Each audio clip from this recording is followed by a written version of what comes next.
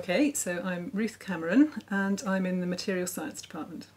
Uh, my ERC grant is to make uh, three-dimensional environments for regenerative medicine.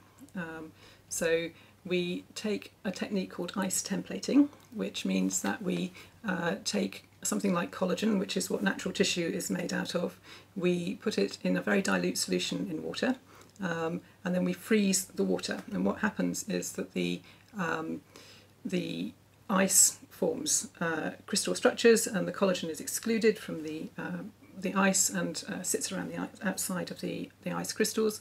And that then means that uh, when we sublime off the ice, so we reduce the pressure and we take um, the temperature up a little bit, the ice goes from uh, solid to vapor straight away, and we can get um, a uh, just where the collagen left in the spaces that the ice wasn't at the beginning. And that means that we create a very open three-dimensional structure made in a very clean way from the stuff that we, uh, we want to make it from. What the grant has enabled us to do with that is to work with specialists um, across a, a, range of fields, um, and we've got three applications that we're working with in the on the ERC grant.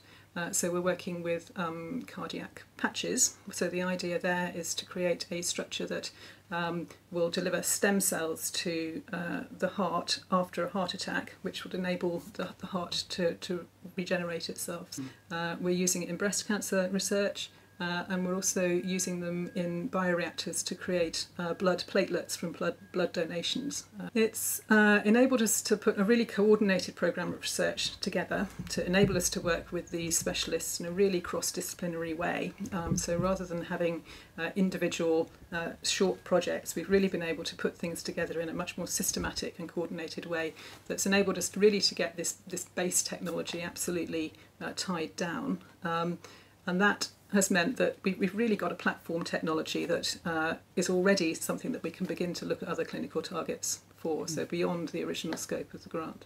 Absolutely, it's, it's exceeded expectations.